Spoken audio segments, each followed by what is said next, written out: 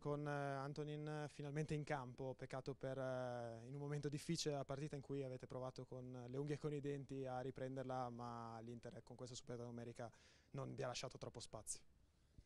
Sì, era, era, troppo difficile tutto il secondo tempo perché Inter ha una grande difesa con un grande portiere, tre difensori centrali sono tutti e tre bravi. E poi poi noi, per noi non era tanto spazio anche per giocare eh, perché era difficile se, se, giochiamo senza un giocatore così lungo tempo, non è facile anche perché poi perdiamo tanta forza e, e non è facile. Nonostante questo però avete tenuto bene il campo, alla fine l'Inter è uscita solo con quel gol che di fatto ha deciso la contesa, c'è un po' di rammarico per, per come è andata la partita perché forse 11 contro 11 si poteva portare via qualcosa. Sì certo ma noi non siamo contenti perché poi il risultato se perdiamo 1-0 o 3-0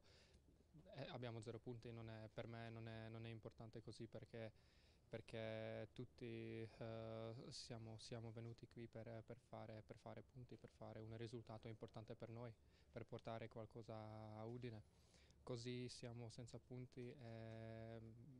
posso dire solo che mi dispiace per, per la, uh, questa partita perché era troppo difficile se vogliamo trovare un aspetto positivo, il tuo ritorno in campo, finalmente dopo tanto tempo eh, qui a San Siro, adesso c'è una nuova pagina della carriera per Antonin Barak. Eh sì, sì, spero che sì, eh, era bello di nuovo giocare con, eh, con questa maglia, con eh, questo stadio, è bellissimo,